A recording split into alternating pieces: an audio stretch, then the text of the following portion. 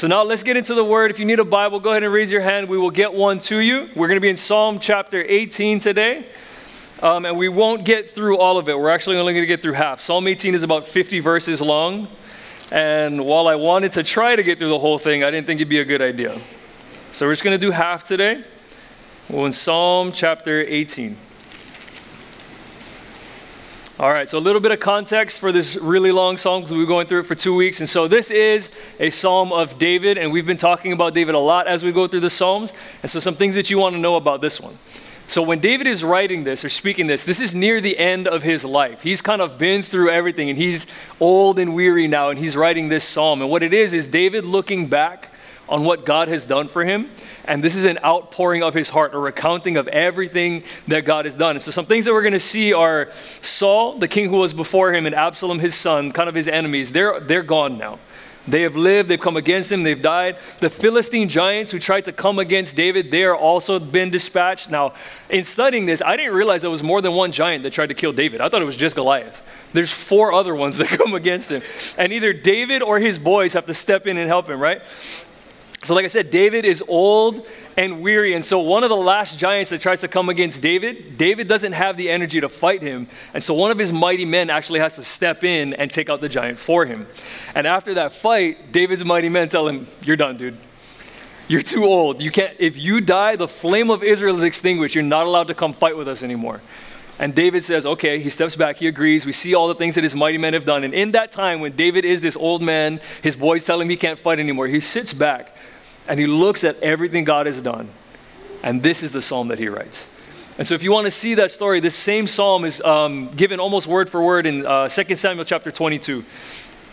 Um, but here we're going to see David recounting how God delivered him from all of his enemies. And my prayer for us is that we will see that this same God, this same stronghold for David, is the same God and the same stronghold for us. And we can cry out like David, I love you, O Lord. So before we get into the text, let's pray. God, we thank you so much for everything that you are about to do tonight.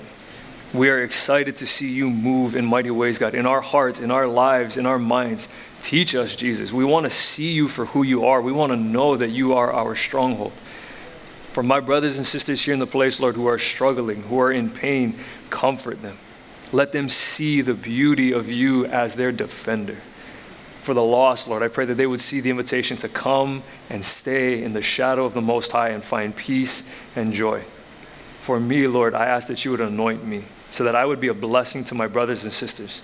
May I decrease, that you would increase in me and all of us. Show us, Lord, teach us how to love you, to recount your faithfulness, and to rejoice in all that you've done. And we pray these things in Jesus' name. Amen. Amen. Amen. All right, so let's jump now into Psalm 18. We're going to read the little introduction there.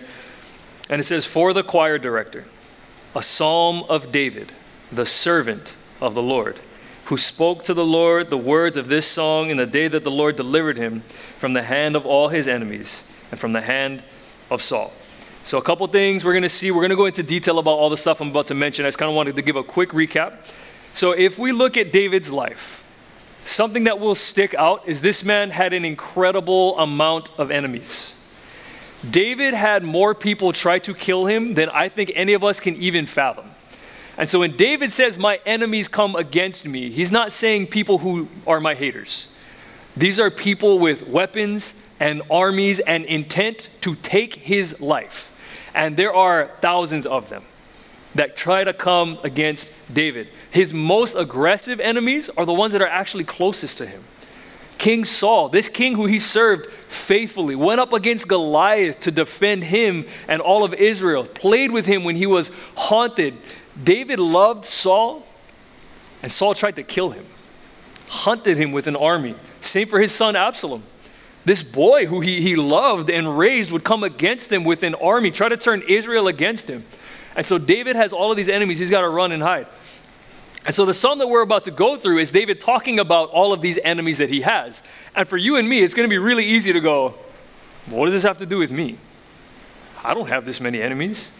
I don't even have enemies of that kind, right? Like, ain't nobody trying to kill me. I hope nobody's trying to kill you. If they are, please let us know so we can pray for you. But like none of us knows what it's like to have an army trying to take our life, people that we love really trying to kill us. And so when I was reading through this, I was like, man, how do I teach this? We don't know what this is like. But the beauty of Scripture is that we can see what David was going through, and God has given us wisdom to see how this applies to us, and that's this David's greatest enemy is our greatest enemy. Because David's greatest enemy was not Saul, it was not his son, it was not the people who tried to kill him, it was sin. It was Satan. It was the flesh, these things that try to come against him all the time. And we can see that David had many sins. He's, he's lying and cheating and stealing and killing and all of this stuff. And it haunted him. And you can see that as you read through the Psalms, he's broken over these things. But he also has these moments where he sees God forgive him. And so for you and I, I want us to come into this psalm with that same realization like, yeah, we don't have enemies maybe like David did, but his enemy is still our enemy. The sin that haunted him is a sin that still tries to take from us. Satan is the same.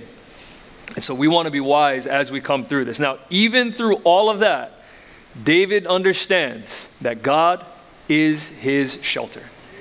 And that's what we need to come to understand and to love that God is our shelter. Now, as much as David has been through it, he's been a knucklehead, he's been a sinner, he's also been a great man. He was a faithful shepherd for his father. This dude defended his sheep against lions and bears. I'm sorry, if I'm your shepherd as like a in, in a field and there's some sheep and a bear comes, your sheep are gone. I'm out. But David stood there, took them by the beard, and punched them in the face. And he said to Goliath, God delivered them into my hand, and God will deliver you into my hand. So David did not think he was strong enough himself faithful shepherd, mighty warrior under Saul. This dude fought so many people. They sang songs about how great he was as a warrior. And then he was the king of Israel. That's a beautiful place to be. But with all of that, all the accolades and all the trophies and all the titles, look how David addresses himself in this song the servant of the Lord. The servant of the Lord. Why?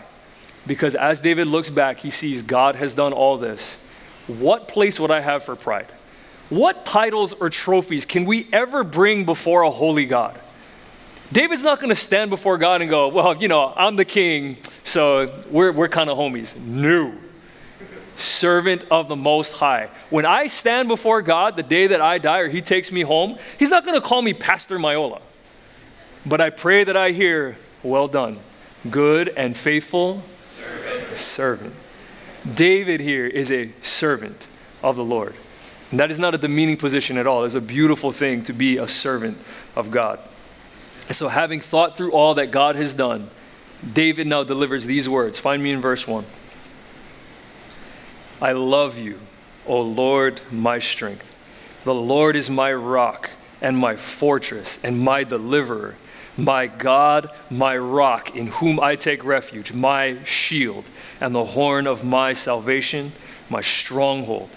I call upon the Lord, who is worthy to be praised, and I am saved from my enemies. Family, memorize these verses. Because I promise you, in times of struggle and trial, these words are such a comfort. As they are to David, they can be to us. Memorize these words because they will bless you. Now, I want us to go through these words and notice the first thing that comes out of David's mouth after he looks back on his life, sees that God has delivered him from all his enemies. The first thing that comes out of David's mouth I love you, O Lord, my strength. I love you. And this is such a beautiful way that he uses love because the word that he uses here is not the word that's most commonly used for love. In fact, this is the only time that this Hebrew word is translated as love. Most times it's translated as compassion or pity or mercy. And it's usually from God to people. But David here uses the word to say, I love you, God. And so it's kind of confusing because you're going, well, how can you have compassion on God? But that's not it. When someone has compassion on you, there is a sense of tenderness, of intimacy, and of care. And this is what David is saying to God. This is an intimate thing. Uh, John MacArthur says it this way it's a rare verb form of a word that expresses tender intimacy. David's choice of words is intended to express very strong devotion. And so it's almost like, you know, we will say often in Christianity, love is a verb. It's something that you do, and that's very true. But here, I think David is more appealing to that emotion. that intimacy. I love you, God. I want to be near to you. There's a devotion here. Now, I want us, before we go any further, to remember what the greatest commandments are. So these will be overhead for us Matthew 22, 36 through 40. Man comes to Jesus and says, Teacher, which is the greatest commandment in the law? Jesus says to him, You shall love the Lord your God with all your heart, and with all your soul, and with all your mind. This is the greatest and foremost commandment. And the second is like it You shall love your neighbor as yourself. On these two commandments depend the whole law and the prophets. So, the greatest commandment that we can fulfill is to love God and to love people. And here's the beauty of that commandment the only reason we can love God is because He has loved us. If He does not first love us, then we cannot love Him. And so, for David, as he recounts his life, what he's seeing is not just protection, but God's love for him. And because he has seen God's love for him, he can now reply with, I love you, O Lord, my strength. Now, he says often in these verses, my, my God, my fortress, my stronghold, my shield. And what I want us to understand is when he's saying my, this is not him taking possession of a holy God, right? It's not like when two kids are fighting over something, they're going, mine, this is mine, right? Like this, uh, this picture here. So you see this uh, beautiful sibling relationship we got going on. But you'll see kids do this. This is mine. This is mine. It's, it's an act of possession, right? It belongs to me. And it's almost selfish in nature. And that's not what David is saying here. Now, when God says to us, You are mine, we are his possession. We are his creation. We are his sons and daughters, his bondservants. We belong to him. But when we say, My God, it's not like we're taking possession of him. Right? For those of you who've been on island long, uh, long enough, you remember the commercial? That's my bank. He didn't own that bank. And so when David says, That's my God, he doesn't own God. It's more like saying, That's my bride, or That's my church, right?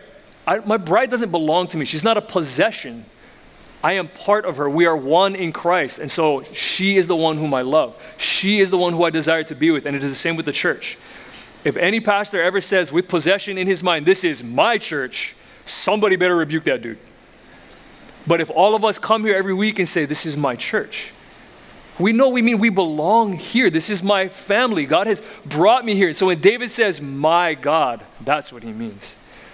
I belong to him. This is the one in whom my heart delights. I love him, my God, my stronghold. And again, there's that intimacy there, right?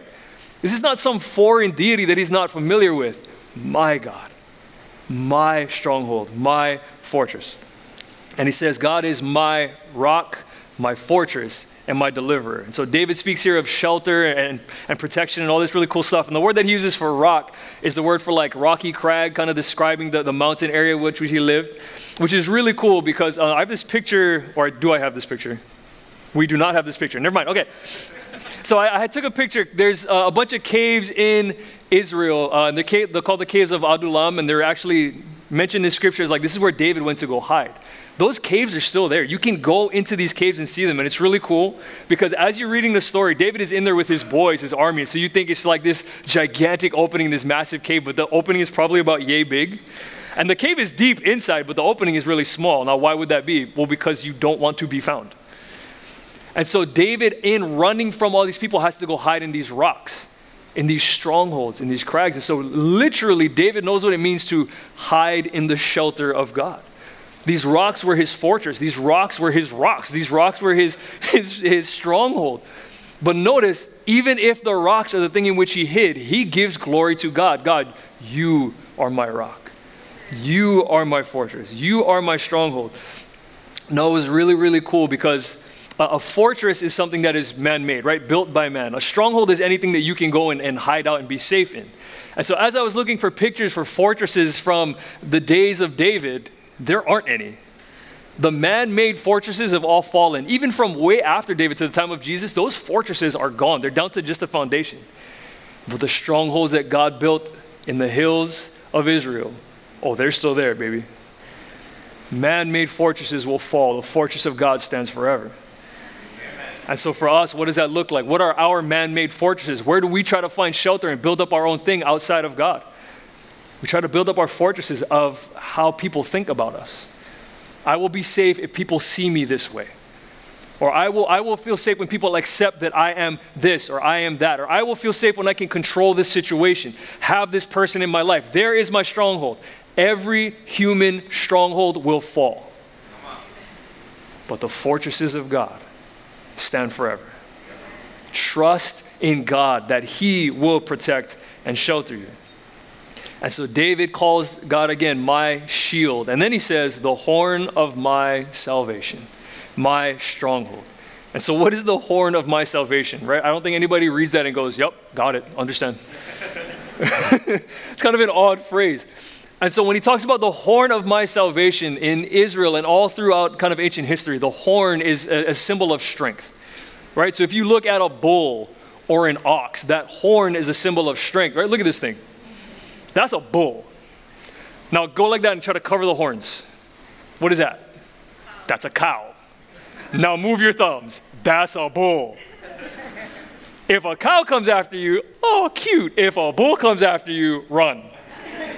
Because there is strength in the horn of the bull. And so when he says, God, you are the horn of my salvation, you are the strength, God, of my salvation. God is the strength of his salvation. But this strength is not one of protection.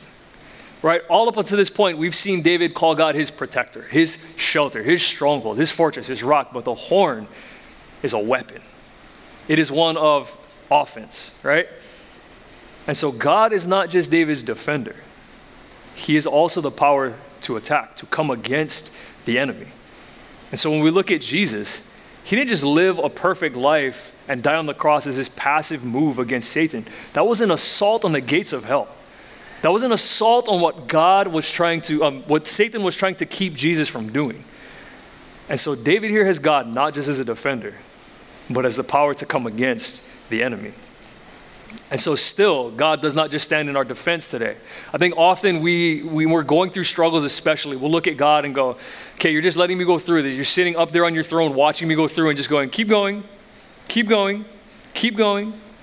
Uh uh-uh. uh God is not just our defender, God has given us weapons of our warfare to destroy the strongholds of the enemy.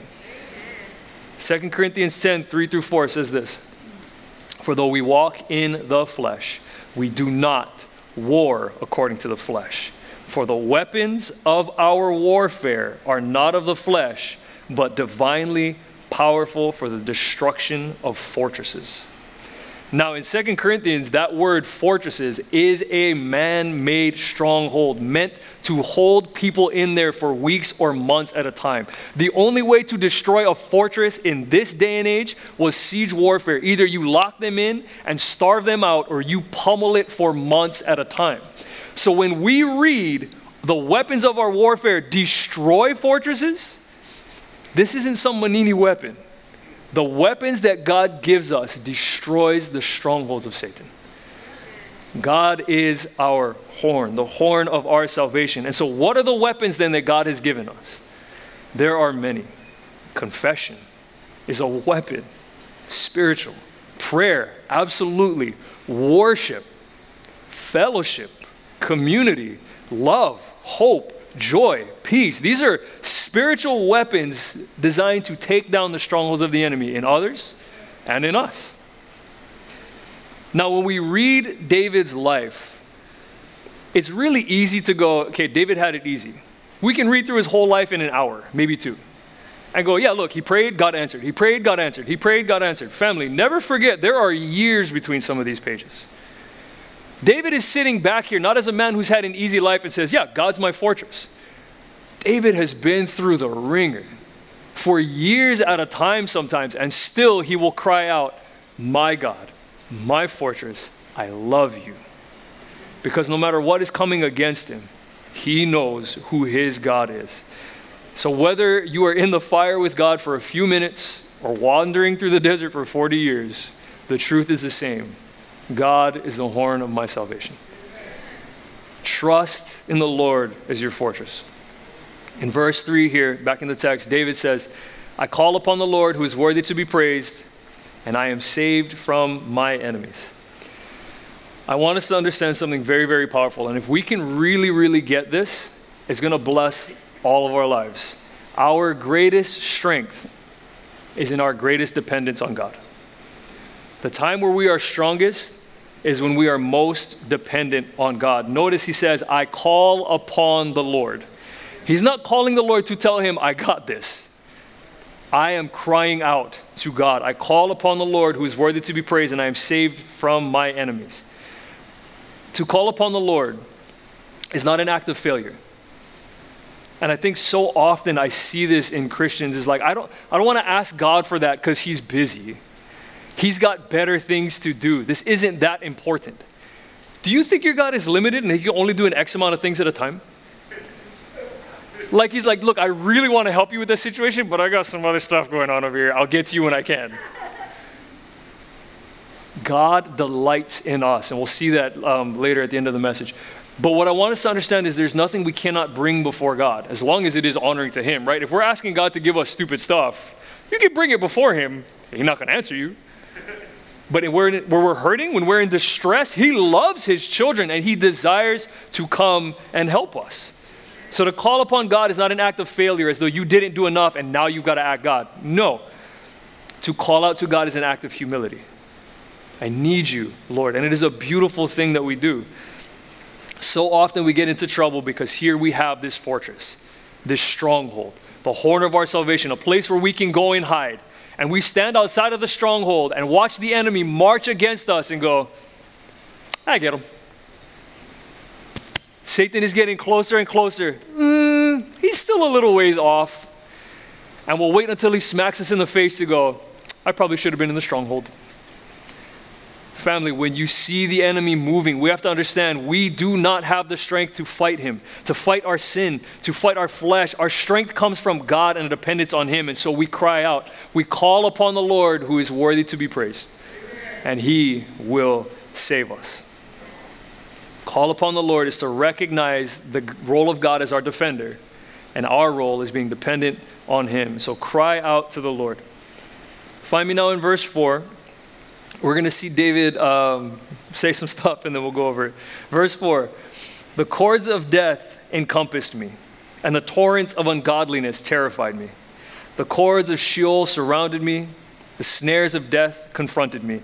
Now, it's easy sometimes to read Psalms like this and go, David was kind of dramatic. Right? Like when you read that, people don't talk like that today. The cords of death surrounded me and, and my enemy was all about me. We don't talk like that. So we can read that and go, David's dramatic. He's not. When David says, Death is coming for me, he means it. Now, think about again all the enemies that had come against him. Absalom, his son, had rallied an army to come against him. Same thing with Saul. Think about him facing down Goliath. Goliath was nine foot six. Goliath's spear was taller than David. His shield probably weighed more than David did. If Goliath hit him once, he's dead. And so when he says, My enemies are about me and death encompasses me, he's not being hyperbolic. David at any moment could die should the Lord remove his protection, but David knows the Lord is with him. And so he can stare down this giant with a rock and a sling because it wasn't the rock and the sling that killed Goliath, it was God. And David stood in confidence that God was his defender. Now, again, David's greatest enemy is Satan. And so we can even read the words he's talking about us here and see that death encompasses us, right? Sheol is coming for us because Satan is our enemy. Now we know the thief comes to steal, kill, and destroy. The problem is we've repeated that so much, those words have lost meaning right? Satan does not come to flatten our tires and make us stub our toes. I think often we kind of minimize him as like this teddy bear. He's like, oh, there he goes making trouble again, like he's a Sour Patch Kid. the Bible says the enemy comes to kill, to steal, and to destroy. He's come to steal from us everything that God desires that we have, to rob us of the fullness of the joy of God. He comes to kill us in any way he can, to kill our joy, to kill our peace, to kill our relationships with one another, to kill us if he can, to destroy our hope, to destroy our peace, to destroy our relationships. Satan is coming as this enemy. He is likened to a prowling lion for a reason. He is a very real enemy. But let me tell you about God. He can come against us all he wants because if God is for us, who can be against us? Satan will come, but we stand as children of the Most High. God is our defender, our protector, and the horn of our salvation. Amen. Let Satan do his thing because God's going to do his. And if you are his child, then you stand in his protection. And so when we look to God as our fortress, as our shield, as our strength, we can cry out, We love you, O Lord our God. And so David here is giving you this picture of all this death coming around him. Now, notice what he says in verse 6. David says, In my distress, I called upon the Lord and cried to my God for help. He heard my voice out of his temple, and my cry for help came before him into his ears. Notice David says, In my distress. David knows God. He knows God is his defender, he knows God is his protector, but still, what does he say? In my distress, in my need, in my anxiety. David is human. He's not immune to distress. He's not immune to worry. He's not immune to anxiety. These are real things. But in his distress, what does he do? I call upon the Lord. Exactly. Listen, family, if we experience pain, trauma, hurt, people wronging us, people hating us, people trying to spread rumors about us, people leaving us, abandoning us, doing all kinds of crazy stuff, you're gonna have feelings and emotions and distress and anxiety that's real. It's okay. You can come to God and say, I don't like this. This isn't pleasant. This isn't comfortable. I'm worried. I'm afraid. That's okay. But do you call upon the Lord, He who is mighty to save? What do we do when we are in distress? This is a verse that I have memorized for myself, and I say it every time I come up to preach. This will be overhead here. Psalm 50, verse 15. And call upon me in the day of trouble I will deliver you, and you shall glorify me. That word trouble is the same word for distress or need. And so before I come up to preach, I remind myself of that because I am in need anytime I come up here. And God says, if I call upon him, he will deliver me and I will glorify him. And that is the desire of every faithful preacher to glorify God.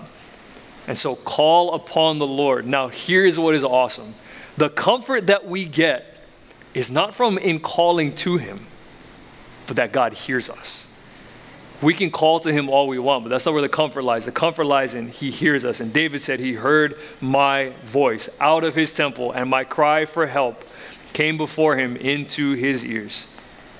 God hears our prayers. Amen. And if God hears our prayers and He loves us, God will answer. Not always in the timing that we want, not always in the way that we want, because if we're honest, God knows better than we do. Big surprise. but He answers us. And we're about to see how God answers, how God responds. Find me in verse 7. So I'm just going to recap real quick. David, I love you, God. You've been my stronghold. All this bad stuff is coming against me. I'm in trouble. I'm in distress. I cry out to you, God. Verse 7, God responds. Then the earth shook and quaked the foundations of the mountains were trembling and were shaking because he was angry. Smoke went up out of his nostrils. The fire from his mouth devoured. Coals were kindled by it. He bowed the heavens also and came down with thick darkness under his feet. He rode upon a cherub and flew. He sped upon the wings of the wind. He made darkness his hiding place, his canopy around him, darkness of waters, thick clouds of the sky. From the brightness before him, past his thick clouds, hailstones and coals of fire. The Lord also thundered in the heavens, and the Most High uttered his voice hailstone and coals of fire. He sent out his arrows and scattered them. The lightning flashes in abundance and routed them. The channels of water appeared, and the foundations of the world were laid bare. At your rebuke, O Lord, at the blast of the breath of your nostrils, somebody is about to catch cracks. Somebody is about to get it. This is what I imagine here is God is seated on his throne. David cries out for help and God stands up. You better watch out. Somebody is about to catch cracks and it ain't David. Notice the language here. The earth shook and it quaked. The foundations of the mountains trembled and they were shaken. Why? Because God was angry. God here is angry. Now, this is poetic language used to display what God is doing. Right? This isn't literal. It's not like every time one of his kids is in trouble, the mountains shake, the earth would never stop moving. but it's this sense of God is moving and creation itself trembles when God moves. He is angry because his children are in trouble. Now, check this out the things that we see as immovable, the earth, the mountains, right? These things are solid and steadfast. Like I said, those caves are still there to this day. These things are immovable.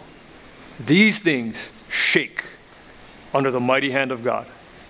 And so when we cry out for help, when we're in trouble, this is the God that hears our prayers. This is the God that responds. And this is the God that is our shelter, the one who makes the mountains tremble when he moves.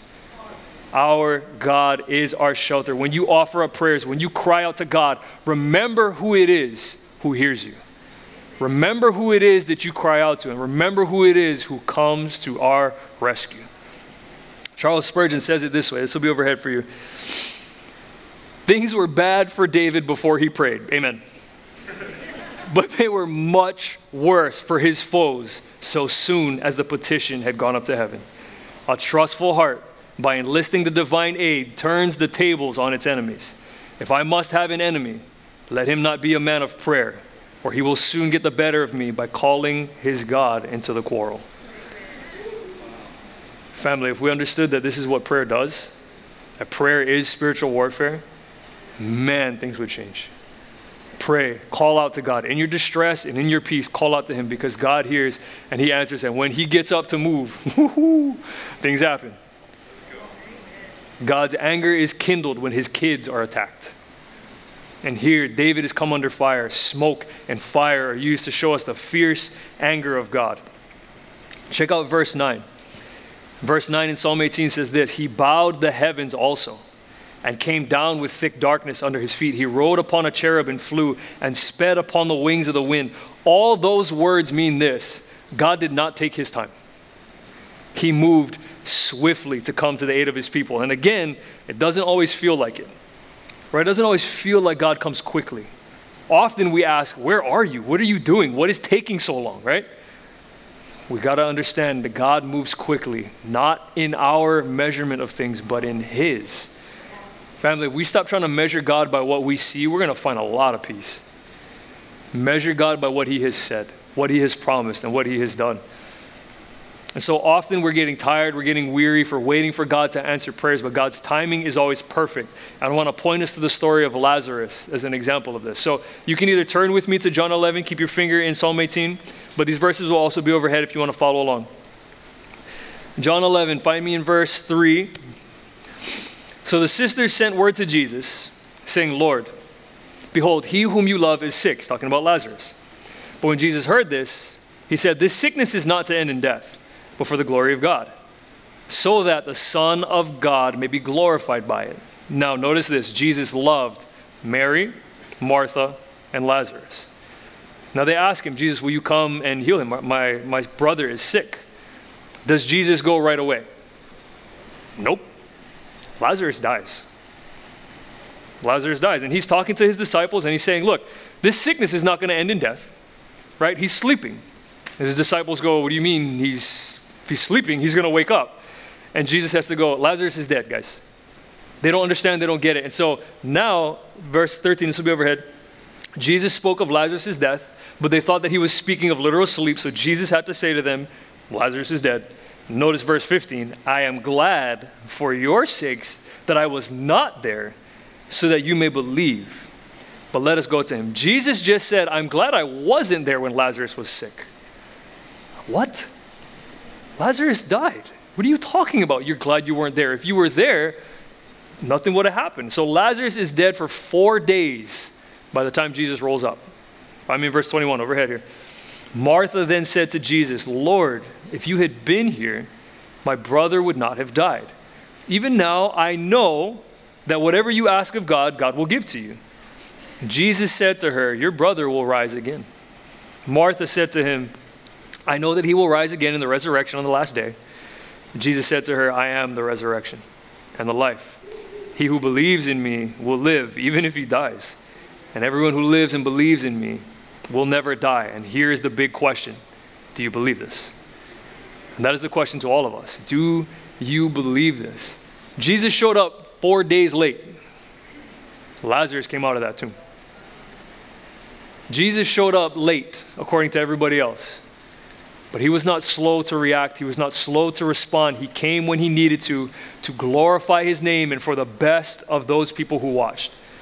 And it is the same for us. When God appears to be slow, trust that he is doing something beyond your understanding, beyond your comprehension, and that he has his greatest glory and your greatest good in mind. Trust in the Lord who is our shelter and our most high. God is not lazy. He's not sitting on some recliner somewhere waiting for things to happen. God is always moving on our behalf. Jesus is always interceding on our behalf. The Holy Spirit intercedes for us and we don't even know how to. God is always moving because He is our shelter. And so God moves, He comes, He does all these things. He's quickly coming to help David. Verse 11 says this He made darkness, talking about God, He made darkness His hiding place, His canopy around Him. Darkness of waters, thick clouds of the skies, from the brightness before Him past His thick clouds hailstones, and coals of fire. The Lord also thundered in the heavens, and the Most High uttered his voice, hailstone and coals of fire. He sent out his arrows and scattered them, and lightning flashes in abundance and routed them. The channels of the water appeared. Foundations of the world were laid bare at your rebuke, O Lord, at the blast of your breath, of your nostrils. And this is interesting because it says that God cloaked himself in darkness. That seems like a contradictory thing, but what's happening here is God is not cloaking himself in darkness from David but for a time is moving in darkness against David's enemies before he unleashes the assault on them. Hailstone, fire, darkness. This is all beckoning back to the Israelites in Egypt. Darkness, hailstone, coals of fire, lightning. This is all showing what God does to his enemies, to Pharaoh, to the Egyptians who would not let God's people go. This is the same God that moves on our behalf today. Now, with all of that imagery, all of the fire and the lightning and the arrows and all that stuff, I still think verse 13 is the most fearsome thing in this whole psalm. The Lord also thundered in the heavens, and the Most High uttered his voice. When God speaks, stuff happens. When God speaks, whatever he says goes down. And so if he is speaking against the enemies of David, it's happening. This is the same voice that said, Let there be light, and there was. We don't even have a small unit of measurement for the power and the energy and the authority it would take to say, Let there be light, and for light to appear.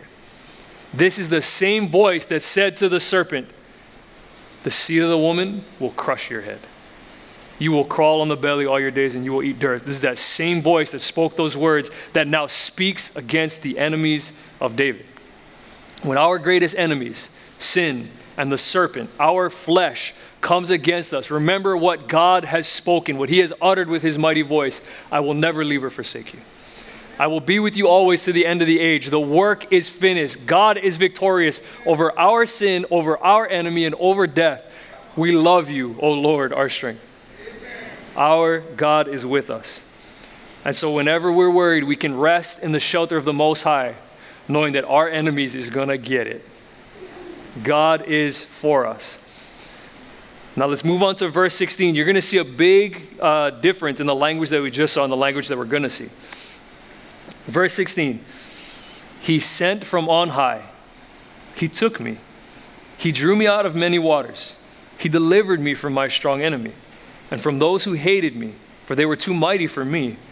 They confronted me in the day of my calamity, but the Lord was my stay. He brought me forth also into a broad place. He rescued me because he delighted in me. Do you see the difference between the language here? Thunder, coal, lightning, hailstone, fire, all of this stuff, and then he delivered me. He delighted in me. He drew me out. Notice the difference between how God deals with his enemies and how he deals with his children. You see the love and the compassion here. This is the difference between the lion and the lamb. God is both, right? Jesus Christ is the lion of the tribe of Judah and the lamb that was slain for our sins. He is the lion to those who are his enemies, and he is the lamb to those who are his children. There is such a love and a compassion and a beauty here, a gentleness in the way that he says he drew me out. He took me, he delivered me, he rescued me, he delighted in me. Now, this God is no less fearsome than the God we just read about. But God is for David and not against him. And so all the might of the Almighty now works for God's glory and for David's good. And then it says there at the end, God delighted in me. God delighted in me. Just take a second to appreciate that statement, please. The God of all creation, the one who we just read about, that the mountains and the earth shake before him, that God delights in me. Now, if let's say I don't want to read myself in the text, let's just say he just delights in David, right? Which he doesn't. He delights in all of us. But let's just look at David. God delights in David? David, the guy who killed Uriah? David, the guy who took Bathsheba, who wasn't his wife? David, the guy who lied and got all those priests killed? David, the guy who tried to move the, the ark like he shouldn't and somebody died? That David? You delight in him. Yeah. Why? Why would God delight in David? Bigger question why would God delight in me? Because God loves David. Because God loves me. Because God loves you. And because when we come to Him and He cleans us and makes us righteous, we are His delight. Amen. Because we glorify Him. Because we display His love to the world. Because we honor Him. Because we live in righteousness. God delights in us. So often we have this picture of God as though He's the parent that's just frustrated with us. You guys remember in elementary school, you're doing math and your dad's sitting over you and you just can't figure it out, and he goes, If Timmy had 10 watermelons and he ate four, how many you get? I don't know, Dad. We look at God like that, like how many times you got to struggle with? Uh uh-uh. uh He delights in us. He loves us and He cares for us. He's not sitting there going, right, you never figured this out yet. He loves us as His children and He delights in us. Sorry, I knew it wasn't just my dad. but God does not treat us that way. He's not frustrated with us. He loves us, He delights in us. Find me now in verse 20. We're going to wrap this up here with David. And it says, The Lord has rewarded me according to my righteousness, or dealt with me according to my righteousness. According to the cleanness of my hands, he has recompensed or rewarded me. For I have kept the ways of the Lord, and have not wickedly departed from my God. For all his ordinances were before me, and I did not put away his statutes from me. I was also blameless with him, and I kept myself from my iniquity. Therefore, the Lord has recompensed me according to my righteousness, according to the cleanness of my hands in his eyes. Now, verses like this we need to approach carefully because we can read things into this text that'll give us really bad thinking, right? And so this is not about earning or deserving God's favor. David is not saying, I was so good that I have earned this. Not at all. David is righteous, right? We actually kind of talked about this uh, last week.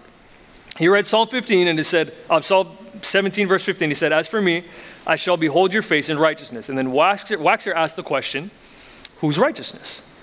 And me and almost everybody else said, God's righteousness. And Waxer said, Nope, David's righteousness.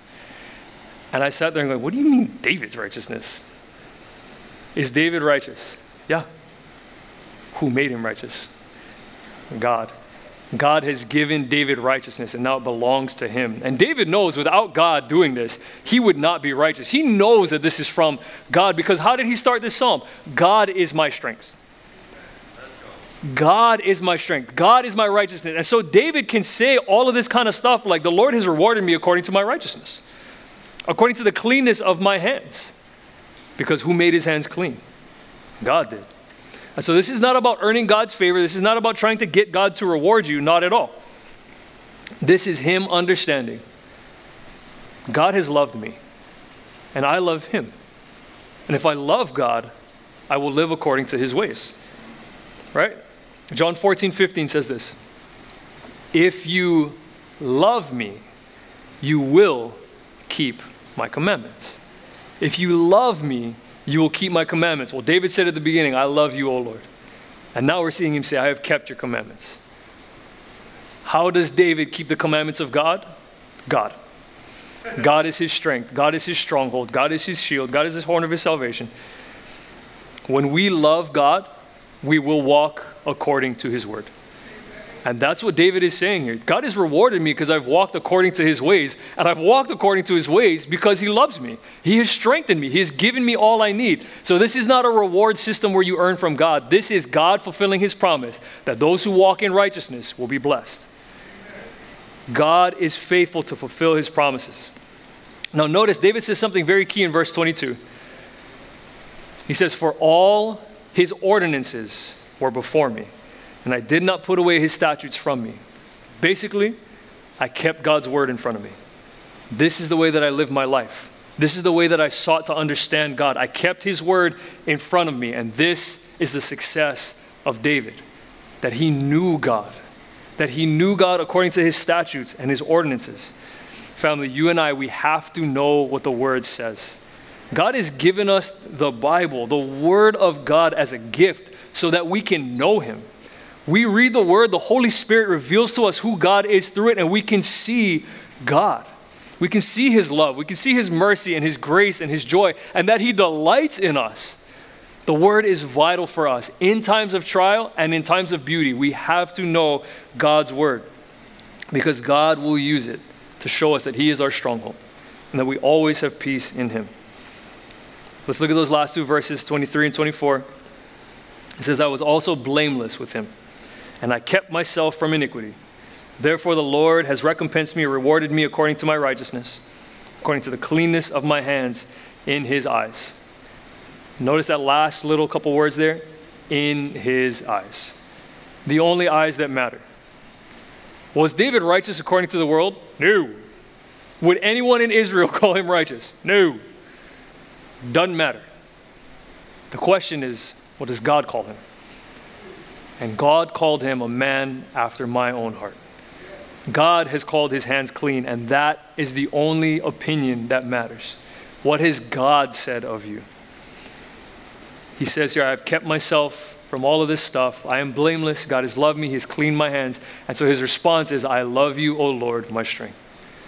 I love you. So God has given David the grace to be blameless, the grace to walk in obedience, the grace to love God, and the grace to fulfill everything that God has called him to do. That same grace is available to you and me. Aloha, I'm Derek, the executive pastor at One Love, and I want to say thank you for tuning in today. We hope that you were inspired and strengthened with today's celebration. If you're new to One Love, we encourage you to visit us online at onelove.org and fill out a Connect card so we can keep you up to date with all the things happening here.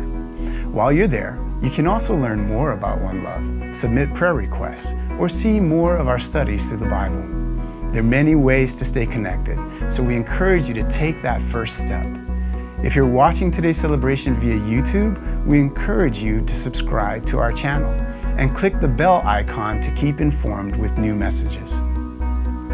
Most importantly, if you made a decision to follow Jesus Christ today, we encourage you to click on our I Said Yes to Christ link at the bottom of the website and fill out the form so we can stay connected.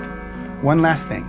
If you want to learn more about the good news of Jesus Christ, we encourage you to visit goodnewshawaii.com there you'll find five short videos about living a life in Christ and a free discipleship booklet designed to encourage you your new faith. Mahalo for tuning in to One Love today. We hope you were blessed by our time together. Aloha.